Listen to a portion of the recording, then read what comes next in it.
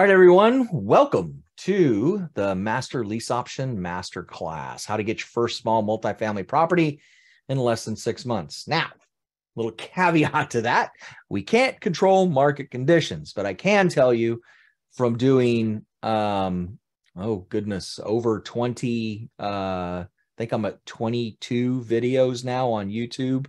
We're in our fifth week of the rental market, MSA rental market updates that um, the majority of the markets are declining. So they are heading towards finding opportunities. So that's a good thing for a lot of us. It's going to be a bad thing for the people holding right now, but we'll see how that all pans out. All right, but we're not here to talk about the rental market. We're here to talk about master lease options. So, little disclaimer I am not an attorney nor a CPA. I do not play one on TV or pretend to be one in real or imaginary life. This material is for educational purposes only and should not be considered advice. Consult your own attorney and or CPA for such advice. The reason I'm putting that up is because we will be talking about agreements uh, in this class today, and I don't want you to think that I'm giving you advice. It is for educational purposes only. You will always have an attorney draft your materials for you. Okay. So that said, what are we going to cover tonight?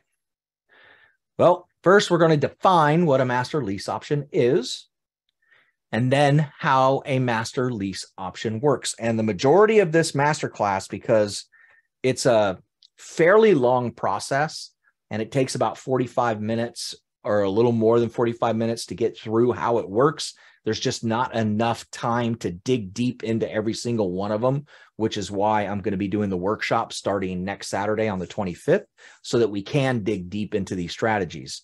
So we'll be covering how a master lease option works, starting off with finding opportunities, then talking about how to underwrite the deal, how to negotiate the master lease and the option to purchase.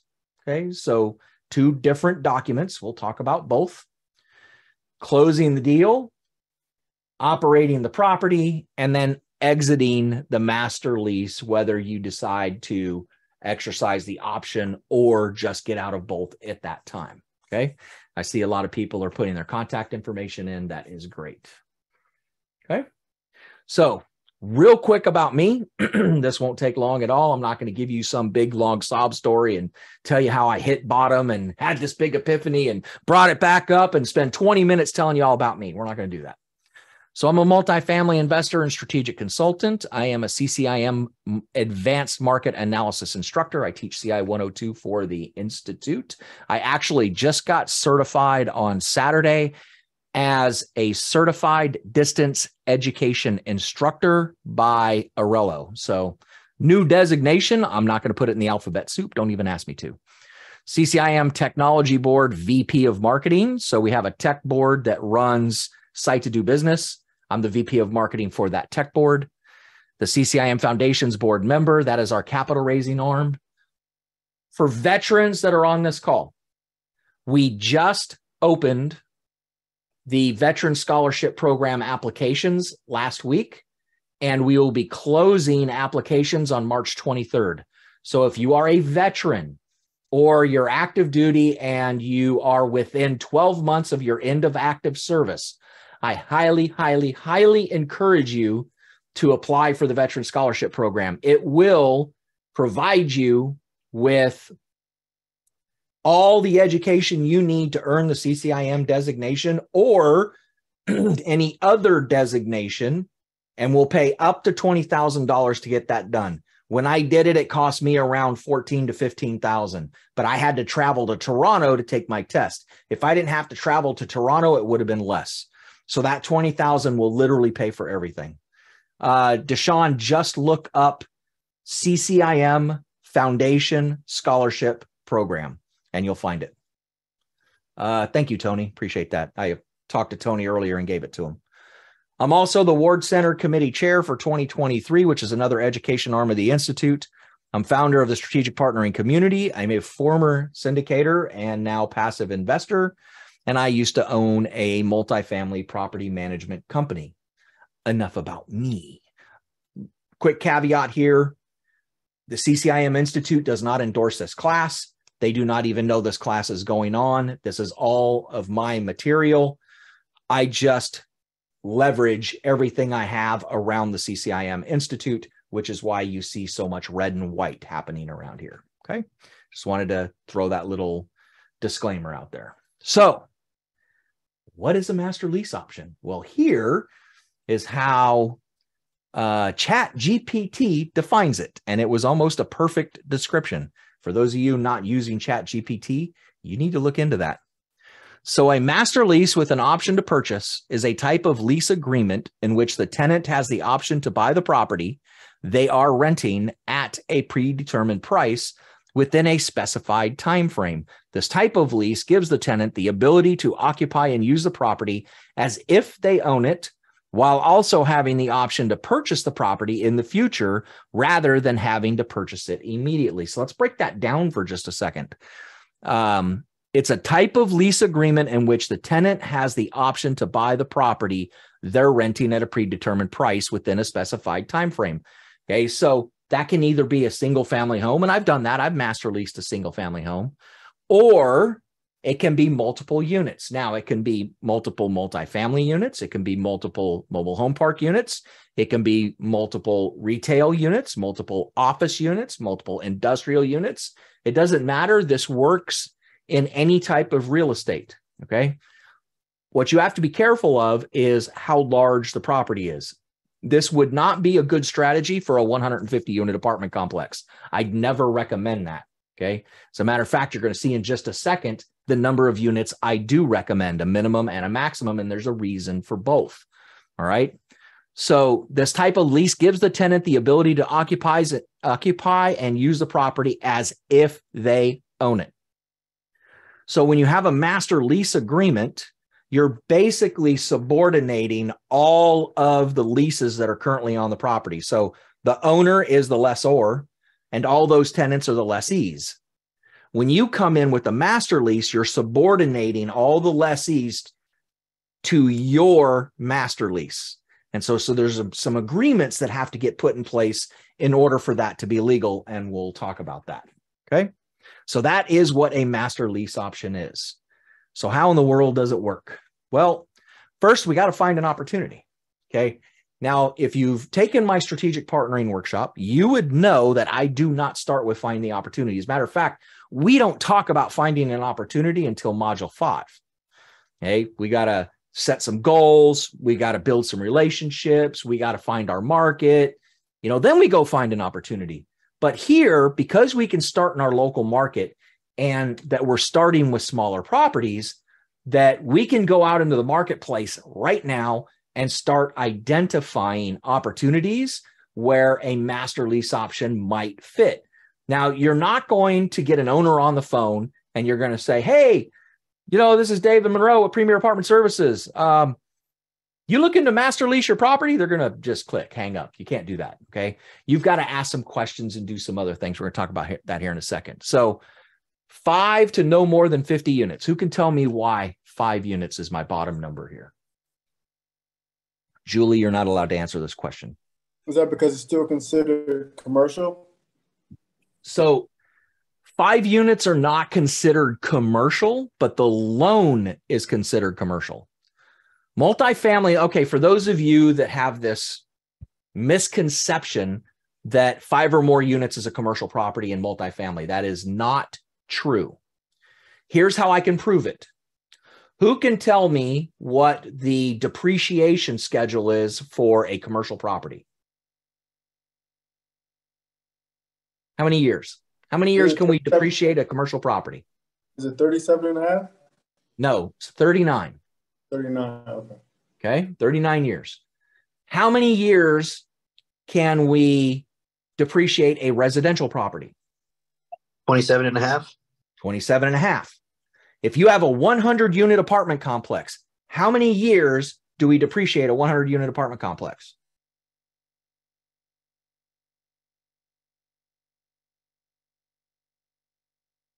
Nobody wants to answer. 27, 27 and a half. That's correct. Okay. That tells you that the government has defined apartment complexes as residential. The only thing that brings commercial to the table is your loan. That's when you go to Miss Julianne Peterson that is on this call and you say, Julie, I got a 10 unit, I need a loan. And she'll help you with that as long as it's over a million dollars in debt. Okay. Um, any other classification for apartments, I don't care if it's an a thousand unit apartment complex, it's residential. All right. So let's just clear that air. That, that drives me nuts. People call it commercial multifamily.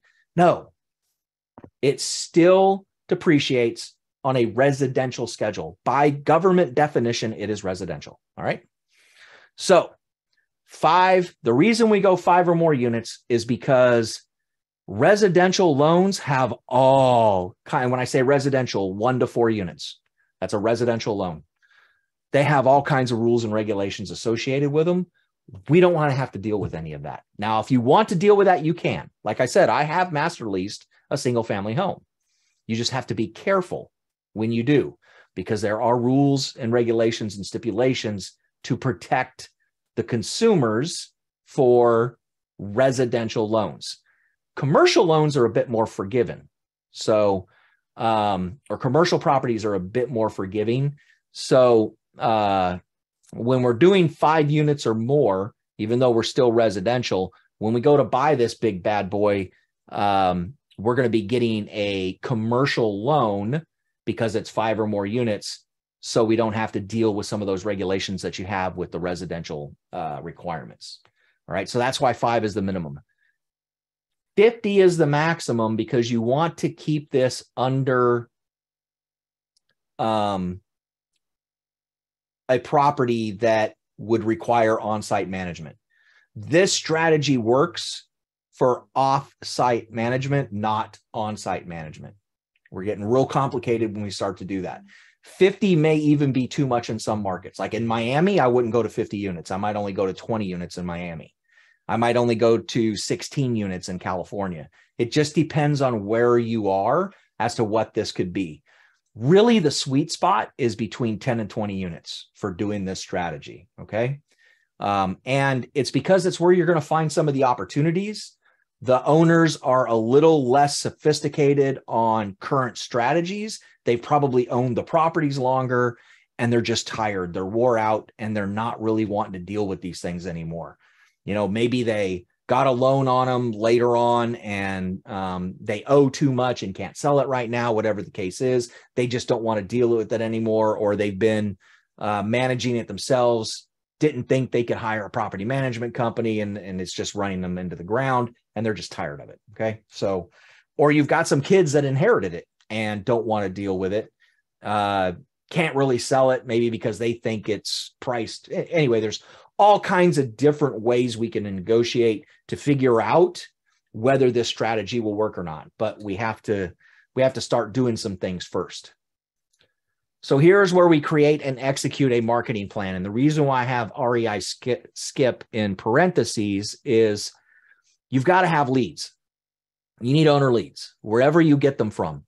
Because we're working under 50 units you can't go to a broker that has Yardi Matrix or Reis um, or Axiometrics, which are all really good data providers for multifamily assets because they're only 50 or more units. They don't go under 50 units. The only ones that go under 50 units are CoStar. Now you can get ownership data from Prospect Now and from Reonomy, but you don't get analytic data with those two software. So I 100% of the time we'll recommend CoStar, at least for now, in multi, excuse me, in the multifamily space because they are the only ones that will go all the way to two units and provide analytics between two and 50 units and in every single market in the country where everybody else for analytics is only in the top 135 markets. Okay. And again, you're not going to get analytics from, uh, from, uh, Reonomy and Prospect Now. Now, Crexi claims they have analytics. Yeah, no, they don't. It's not the same. It's not even remotely close. So don't come to me and say, hey, I'm using Crexi for analytics. It's not going to work out. Crexi does not track rents for apartments. They just don't. They track leases on commercial properties, but they do not track rents for apartments. So be very careful getting sold by Crexi on data for apartments. All right. CoStar owns apartments.com, which is why I go to that source for my data and the fact they go under 50 units. The other thing is um, what's the big acquisition story right now in the marketplace for CoStar? Who are they trying to what what website are they trying to buy right now? Does anybody know? Is it realtor.com? It is realtor.com. Which means if they can go through with that and the government allows them to do it, and I don't see why they wouldn't, considering um, NAR owns realtor.com and they are the lobbyists that would stop this from happening. Um, we're going to get single family data.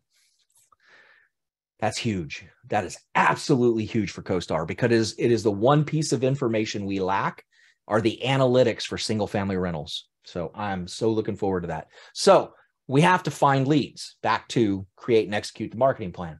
We got to find leads. Where are we going to get those leads? Well, from all those different sources I just mentioned. For me, it's CoStar. For all my strategic partnering members in my community, those leads are already in the members area. And then you can go to REI Skip to skip trace email addresses, phone numbers, things like that. I ran across this uh, software uh, a week or so ago, and I absolutely love it. It I went and I took some CoStar data and I threw it in REI Skip, and it produced incredible results. Okay, and we're gonna I'm gonna go through and walk everybody through REI Skip when we get into the workshop uh, a week from Saturday. So next, we have to identify the opportunity actually exists.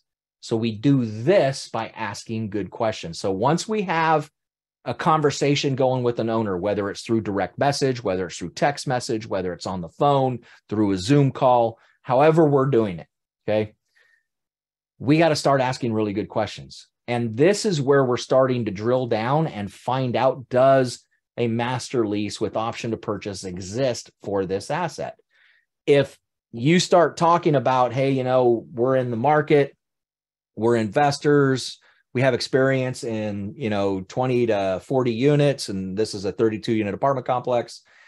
And um, we're in the business of um, finding solutions for owners that um, are having problems uh, either with their residents or their property uh, or their marketing plan or or or or you know if the owner responds back yeah you know i'd sell it yeah if i could you know get three million dollars for it well that's probably not an opportunity.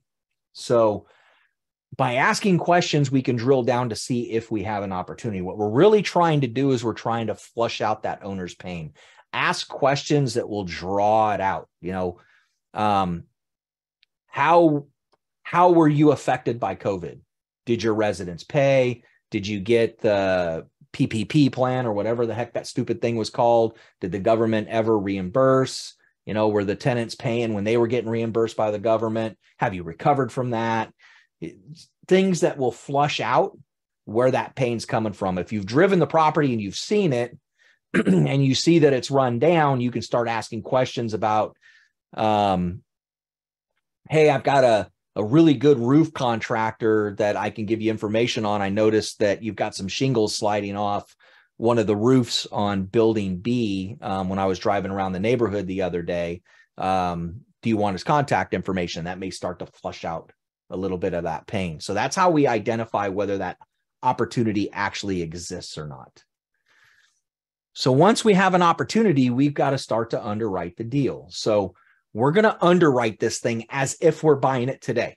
Okay. Now I know that a lot of you have been listening to the gurus, and you'll always see me do this when I say gurus on how to underwrite properties. If you underwrite a property the way you were taught by a guru, you will not do any deals with master lease options. What you need to do is underwrite it as if it was, uh, as if the financials were for today. So you get a current rent roll and a current P&L. If you can get a T12, great. But most properties at this level aren't going to have T12s. owner's going to look at you sideways if you ask for a T12. That's the kind of owner we want. So uh, a previous 12 month P&L and uh, a year to date P&L is really all we need and that current rent roll and we can start to underwrite it for that specific financials, not what it can be. We don't care what it can be. What is it right now? All right. And we're going to determine a value. So when we start to negotiate our purchase price for this, we're purchasing it as if the financials are today. We're purchasing it in the future. Okay. That's why it's really important that you use good underwriting fundamentals for today's numbers, not the future. So, using the fundamental assumptions for those of you that have heard me talk before about underwriting or have gone through the strategic partnering workshop or the underwriting workshop or the underwriting case study, I like to teach underwriting. I don't know what to tell you. Um, you'll know the six assumptions are what are current market rents? What's your vacancy assumption? What is your income growth assumption, your expense growth assumption, your interest rate assumption that you can get on the loan, and then what is your exit cap rate or your refi cap rate if you're getting short term debt. Now, if you're getting short term debt today, you need to rethink your acquisition strategy because everybody that got short term debt in 2021 is about to find out how much trouble they're in. Mark my words on that one. All right. So we're not really looking for debt right now, but these are the assumptions. We'll look at debt later on when we get ready to purchase this thing if we decide to exercise the option. But we got to use those fundamental principles and those assumptions. So you got to kind of do a market analysis to draw those assumptions out so that we can do a good, solid financial underwriting. Then we need to determine the business plan. So we look at the property. We've got an idea of what we can pay for it now and we we visit the property do not ask to go into every single unit you are not in due diligence if there's a vacant unit or two ask to see a vacant unit or two. The owner will show you some vacant units. Do not go into an occupied unit. You'll have plenty of time to see the occupied units later. Look at the structure look at the landscape look at the curb appeal. Um, let me ask this question. When you guys go to purchase a home or um, or look at uh, a single family residence, what is the number one thing you're looking at as you drive up to that property? Curb appeal. Curb appeal, right? Do you think it's any different for a resident that's going to live in an apartment community? No. No, it's not. Okay. I was a career renter for a long time. I've lived in a lot of apartment complexes. And if I started to drive up to the property and it was run down, I never pulled in the parking lot. I kept right on going. Okay. Even if I had an appointment, there was no way I was going to pull into that area. So curb appeal is huge. So we can start to focus in our mind what are we going to do to this property? We're not raising capital to bring a big capital infusion into this like you would in a normal acquisition. Remember, this is a master lease option. And when we get in negotiation, you'll find out why I'm saying this. So you need to figure out what can you do over the next 12 months that you can improve this asset from the cash flow that you're going to receive from this property. And by looking at the P&L and looking at the rent roll, you can start to see efficiencies. So you'll know whether you can increase rents as lease expires or if it's got very low occupancy as you're renting units, you'll get more NOI coming in and you'll see operational efficiencies where you could start to lower operating expenses. When you start to identify that, now things start coming together so that when it comes to negotiating, you've got a good idea of where to go with your LOI, which is the next step. So negotiate the opportunity. No different. We still submit an LOI. You don't have to. It just opens the conversation. Does anybody know what an LOI was originally created for? A letter of intent? Why did letter of because it's a non-binding agreement. So why do we need a non-binding agreement in commercial real estate? to negotiate the official PSA or contract without spending a ton of money and time. That's why we do it now. But what was it originally designed for? Leases. Contract attorneys love leases and they will spend as much time as they possibly can drafting it. So the LOI was created to get the terms, price and terms done so that the attorneys had a document to work from to speed the process up. Now we use it to open the communication. Okay. But LOIs were never meant to purchase. LOIs were meant for starting the process and narrowing down what the price and terms were for attorneys on leases. A lot of people don't know that. So we got to negotiate two things. First thing we're going to negotiate is the master lease. Remember, I said in the beginning, they're two separate documents. Yeah, exactly. Two completely separate documents. All right. So we're going to ma- negotiate the master lease first because without the master lease, the next one is irrelevant. Now it says one to five years. Why, why would we only negotiate a one year master lease? What's the thought process there? Thank you guys for being interactive with me. Gives you a chance to improve on some of your business plan in the year so you can go and refi or purchase the property based upon those uh, current financials. Too, too soon to purchase. We need three years before we purchase. If you don't believe me, ask Julie. Lenders want to see three years of financials. There's a method to my madness. Stand by, we'll get there. But that's not why I have the number one here. Arun, uh, nope, that wasn't it. What if your business plan isn't working?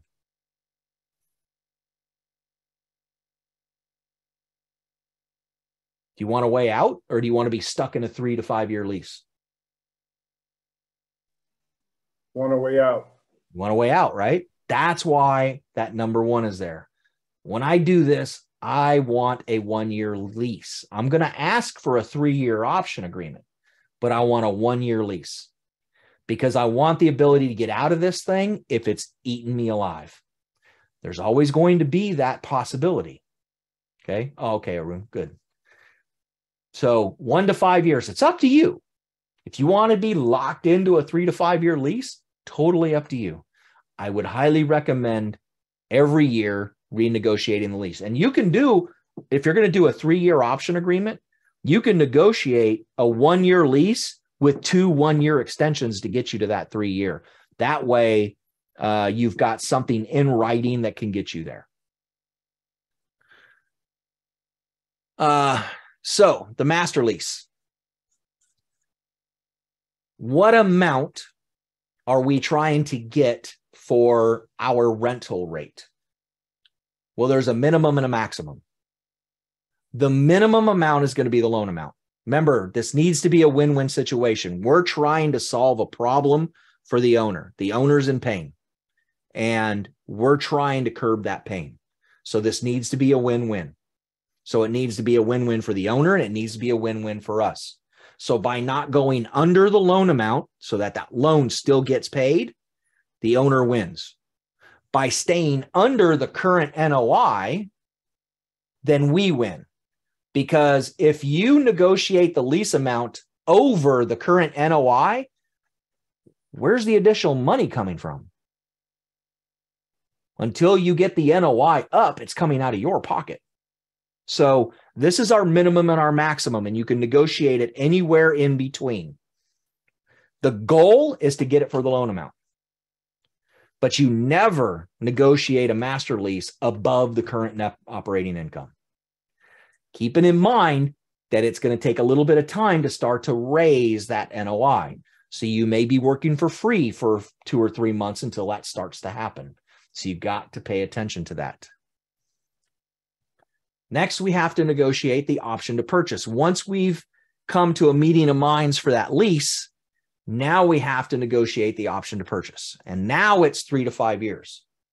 So, lenders, when you go to a lender for a loan, the first thing they ask you is, I want to see the last three years' financials. Well, guess what? If you've been operating the property for the last three years, it's almost like a refi.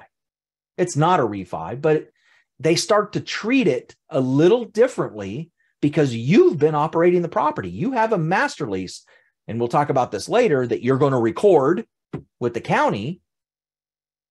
And you have this option of purchase that you're going to record with the county that shows you have operated this property as if you were the owner for the last three years, and you provide them with the T12 and you provide them with the rent rolls and you provide them with everything they need in order to get a loan. That's why we do three to five years because they're going to ask for a minimum of three years. Uh, Julie, have you ever asked for any less than three years? Never. Never. Okay. That's why. That's why we negotiate the master lease to one year in case the business plan isn't working and we can get out. And that's why we negotiate the option to purchase at a minimum of three years. Okay. Um, you're going to negotiate at today's value. So you're going to take the current NOI and you're going to divide it by today's cap rate and you're going to come up with today's uh, value. You're going to utilize, I wouldn't go to CoStar and get the market cap rate off of CoStar because it's delayed probably two or three quarters. I would see what the interest rates on loans are today and I'd go 100 basis points above that so you can assure positive leverage. So if interest rates are at six and a half percent, and for those of you don't know, Freddie Mac right now is 6.12 for 30 year fixed. So if you go 100 basis points above that, then you can do a 7.12% cap rate on the current NOI of the property. And as long as you communicate all that to the owner and say, here is what I value the property, I'm willing to pay market price for as it sits today probably isn't going to do a whole lot of negotiating with you. He's probably going to like the number. And he says, okay, that looks good to me. Now, that gives you three years if the business plan is working to grow that NOI, that business plan, get that business plan working, get those rents up, get the expenses down, get those efficiencies in. Uh, let's see, in a master lease, who takes care of capex, big expenses such as HVAC, roof, etc. So, Akash, it can be negotiated, but if you're negotiating to the uh, loan amount, you're going to be responsible for all of that. If you're negotiating to the NOI, then I'd start negotiating a minimum amount that or a maximum amount that you're responsible for, and then that the owner will be responsible for beyond that. Um, does that make sense? That way, you've you've got some room. If you're negotiated your master lease to the loan amount, there's no room for the owner other than out of their own pocket for capex. Vice versa, if it's negotiated up to the current NOI, there's no room for you to negotiate for capex. Now we're going to tell the owner, look, you know, you've got all this cushion in here, so we need to put some aside for capex. And just like anything else, you're going to want to put money away for capital expenditures. And I'd even say, if you're smart, you're going to start escrowing a certain amount of money so that you have a down payment when you're ready to get a loan when you go to purchase this thing so that no money comes out of your pocket. If you're smart, we'll talk about that when we get ready to exit this thing. Okay. So we're going to negotiate it to today's price based on today's cap rate on today's interest rate. So again, 6.12 is Freddie Mac 30 year fixed right now.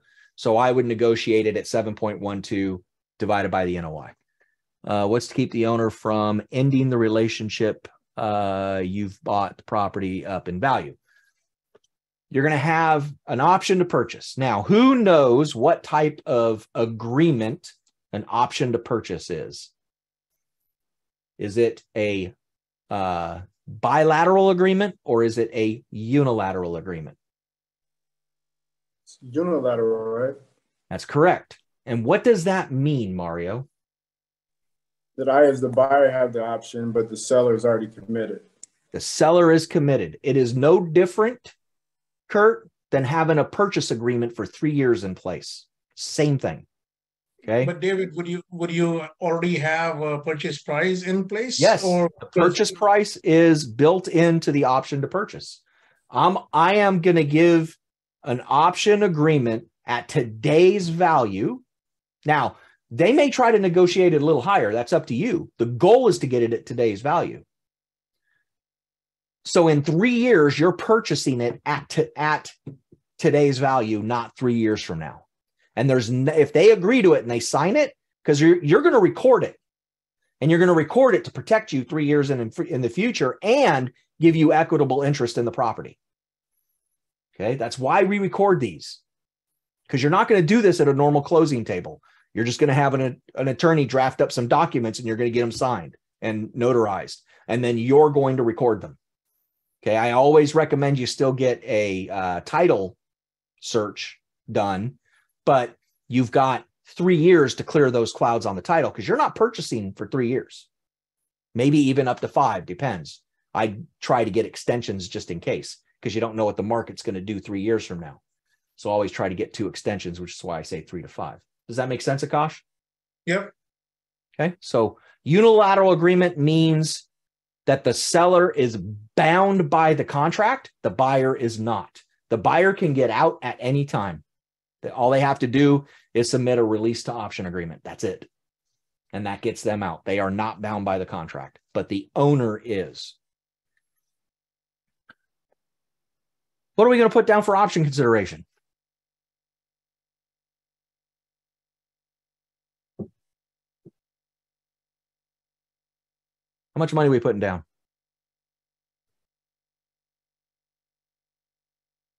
Anyone? Why? 1% Why? Why put anything down? A hundred bucks. Why put anything down?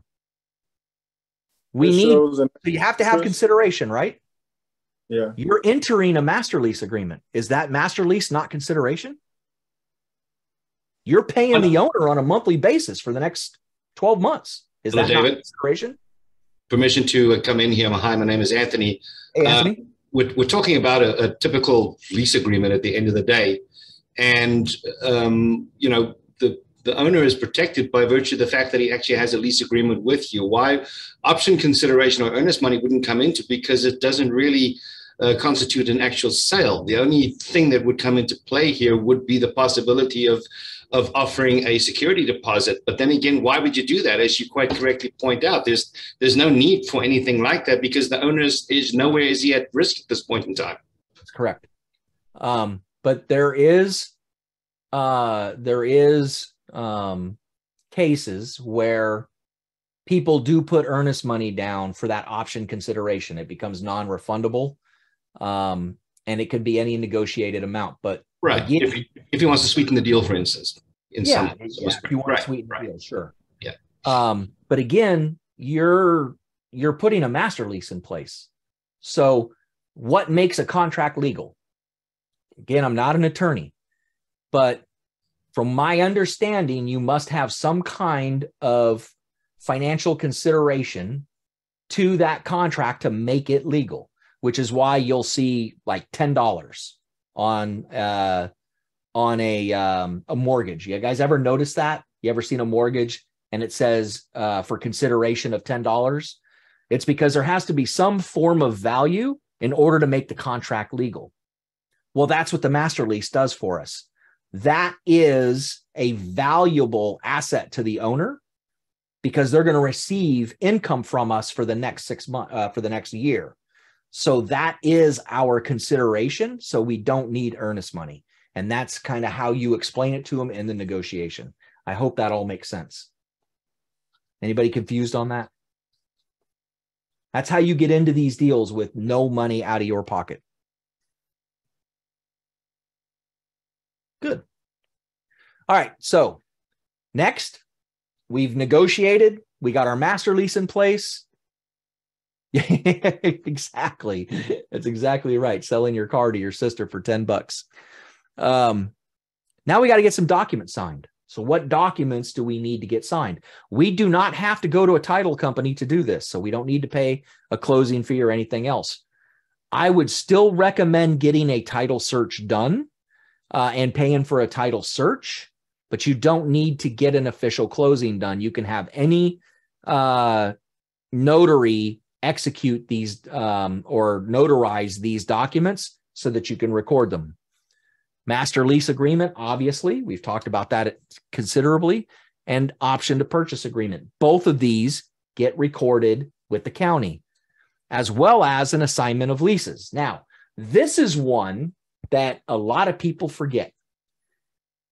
And then they go to court to evict somebody, and the judge says, You don't look like Jorge Rodriguez. What's your name, son? David Monroe, sir. Um, this isn't your lease. You're not the lessor. Jorge Rodriguez is. Oh, he was the previous owner, sir. Hmm, where's your assignment of leases? What gives you the right to this lease? Well, it was in the purchase agreement, sir. Uh uh The owner has the right to those leases, not you. And you don't know that until you go to court and try to evict a resident. And not every judge will do that, but there is case law to show that if a judge is trying to protect a resident, even in a landlord friendly state, they will almost always go to the assignment of leases. So you always want to ask in every transaction you do when you're purchasing a rental property to get an assignment of leases. All right. But we need to do a, a, some additional because we have to subordinate all of the existing leases to our master lease. So not only do you need an assignment of all the existing leases, you also need an, a, a document that each and every single resident that's currently in the property signs that subordinates their lease to your lease, pretty much becoming sub tenants. Does that make sense to everybody? That is very important. You cannot skip that step. And again, that assignment of leases gets recorded with the county. Those are the three things you want to record. Next is an assignment of option agreement. Now, you can put a clause in your uh, option agreement where it is assignable so that any time in that three to five year period, you can assign that option to another buyer.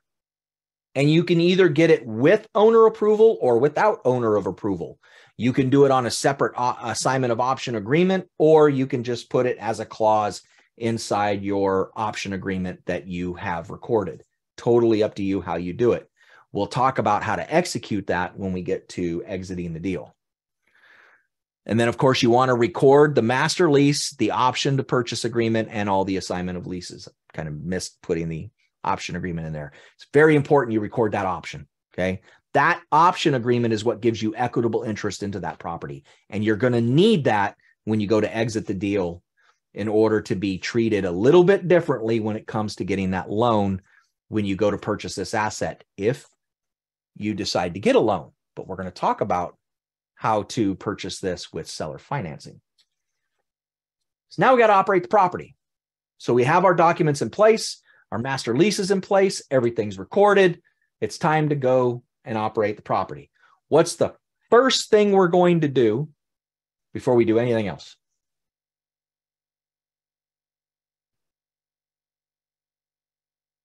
What do we need in place? Off-site management. Hire property management.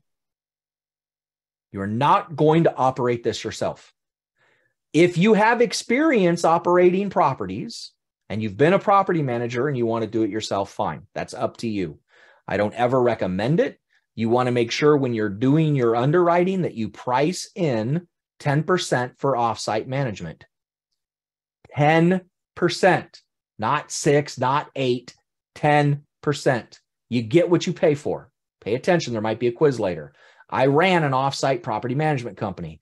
The margins are the thinnest in the industry. Restaurants have bigger margins than offsite management companies. If you want this property operated properly, you price in 10% of the income, gross operating income. Okay. Don't argue with me on that. Just do it. You also you have to open that? your bank accounts. Go Excuse ahead. me, Dave. Can you do that if the current owner does not actually have a property management company? If you're going to add 10%, you're going to throw your numbers out, won't you? Well, we're going to price it in. Okay. It's going to be in our underwriting. We're going to price that right in. Okay. If we're getting it at the loan amount, then it shouldn't be an issue. If it is, it's probably not close enough to be able to do an option agreement, a master lease with option. We got to have enough spread where we can price in our operational efficiencies. We're going to find other ways to reduce, but you got to be able to take that 10% hit right off the bat. There's a good chance that the owner may have property management in place already, but they're really crappy and they just don't want to go through the process of trying to fire them and hire somebody else and do it in between interim and that may be part of their pain so all you have to do is uh, negotiate being able to fire them as soon as you take over and boom let them go get your people in place and and keep moving when you're opening bank accounts you got to be careful here some management companies are going to want to open the bank accounts in their name that's okay. I did the same thing as a management company. I would open the bank accounts in my company's name. Uh, yes, this is being recorded. Um, you made me think a minute. Oh, did I for, did I forget to hit the record button? I did. It's recording. Um, even when I managed properties, my management company would open the bank accounts for the property. That's fine, but you're going to want to make sure that you are uh, listed as a signature and owner on the account. Because if you fire that property management company, you've got to be able to get access to those funds. If you're not a signature on the account, you don't have control over what happens. Doesn't mean they're going to take the money and run, but they may hold it for a little while and that can hurt. So they may try to make it a little painful because you're firing them. So just make sure that you're a signature and listed as owner on the account and you'll be fine. You're also going to want to have two accounts. You're going to want to have an operating account and escrow account. Who could tell me why we need an escrow account? Rent deposits. Absolutely. Don't ever commingle your rents and your operating account ever, or your uh, deposits and your operating account ever. That is the number one uh, infraction that um, real estate attorneys go after is commingling.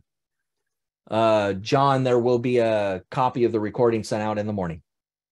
All right. So those are the bank accounts. Now we got to just execute our business plan. We put one in place when we started this process. We we always purchase with the end in mind. Now we just got to execute that business plan.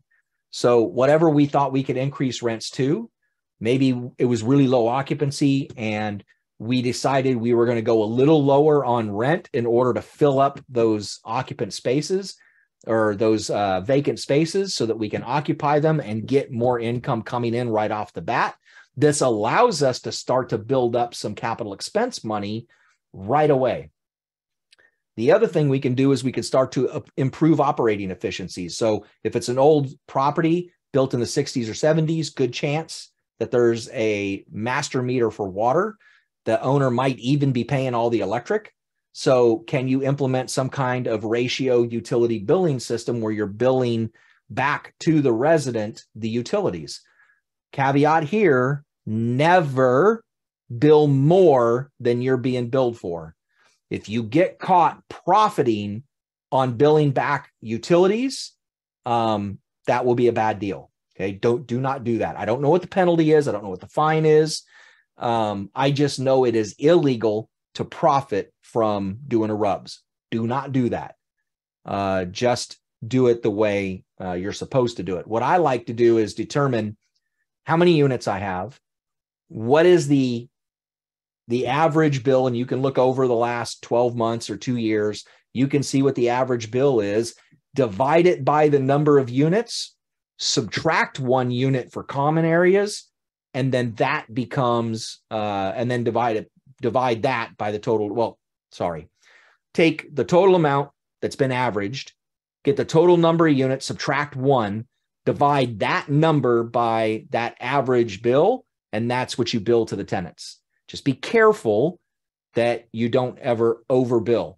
Nobody ever questions that kind of strategy. It's just a flat fee the the residents like it because they know how much it's going to be every single month so that's what I did when I was operating. And then lowering expenses. Where can we lower expenses? Uh, so you'll have to look around and see from the P&L where, you know, maybe trash is really stinking high compared to the market. So maybe it's just a matter of getting a different trash company in there to lower that expense. There's some things you're not going to be able to lower. You know, property taxes are property taxes. Insurance, you're not going to be able to have uh, the ability to do insurance because you don't own the property yet. You're only master leasing it. So uh, the owner will be uh, the insured, but you definitely want to get uh, added as additionally insured on the insurance policy. Make sure you do that. I should have put that in here and I didn't. I'm glad I mentioned that. Okay. So there are ways to lower expenses. So we're There's just- nothing stopping you from requesting from the owner to see if he can shop around for cheaper insurance or even do that for him. correct. right? You can, absolutely. You can do that, but the owner has to agree to that. Absolutely.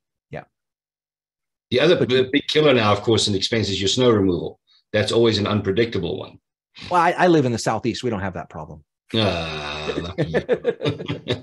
I actually got a little sweat on me right now. I got 75 degrees today. okay. All right. So now it's time to exit this thing. So let's say we just want to exit. First thing we got to do is exit the master lease. And then we have to exit the option agreement, whether we're executing the option or we decide to release the option, either way. So, first, we're going to talk about exiting the master lease. So, you can exercise the option to purchase. When you exercise the option to purchase, that will cancel the master lease because now you own the property. Okay, so that automatically cancels that master lease. That's one way to do it. You can assign that master lease. That master lease has value. If you get to a point where you decide that you don't want to move forward with purchasing this asset, but you see the value and you've brought the NOI up, you can assign the master lease at its current master lease rate. That's got a lot of value. You could put a cap rate to that.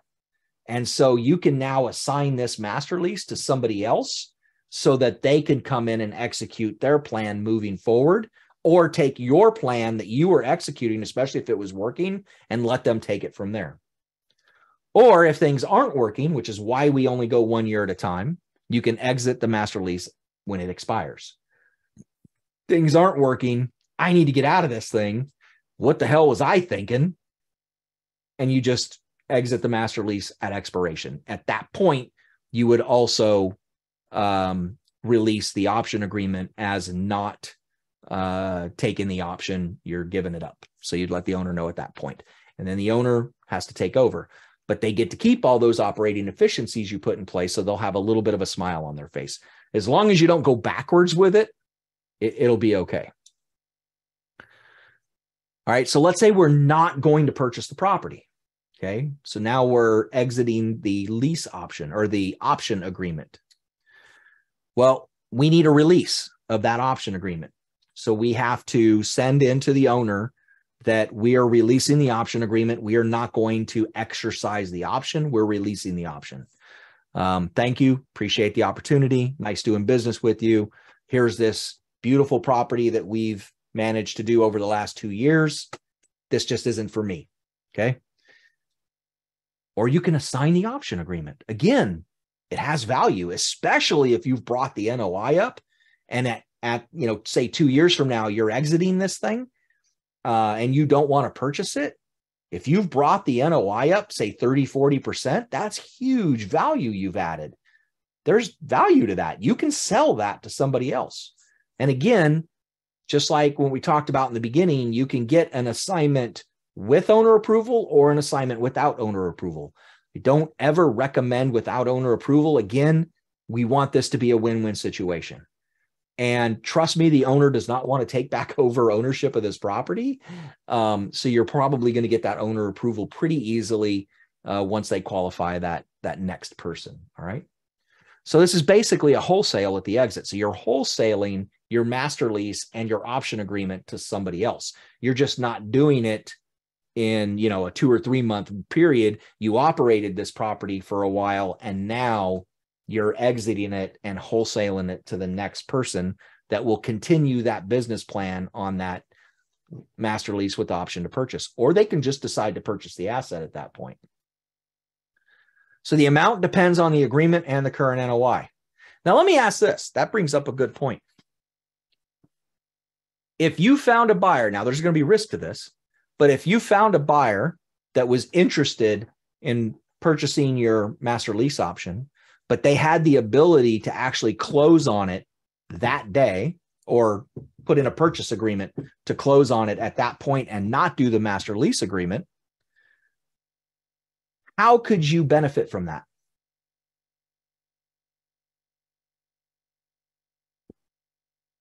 Would you have to close on it yourself and resell it, David? Purchase it. Yep. So you at this point you would execute your uh, right to purchase. Yeah.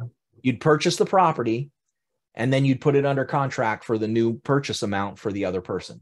Again, there's risk to that because what if the other person doesn't buy? Now you're stuck with that property. Okay. So yeah, that is one way you can do it. So I just wanted to bring that up because as I was talking about that, that triggered in my brain um, to mention that. So there, if you're trying to wholesale it and they say, well, hey, we just like to purchase it now, execute the option agreement, purchase the property, and then turn around and uh, put it under contract for the new amount. Keep the rest. So the amount depends on the agreement and current NOI, obviously. So, what if we're going to purchase the property? Well, it's a good thing to escrow some cash flow for a down payment. So, if you've negotiated your master lease to the loan amount, and let's say it's a 10 unit property and you're cash flowing $1,000 a month from the property at current NOI when you start the master lease. If you escrow 50% of that,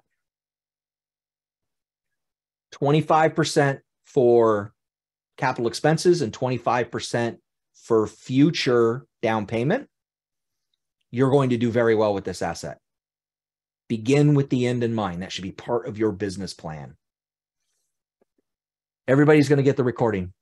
Cheyenne, don't worry about it. Um, does that make sense to everybody?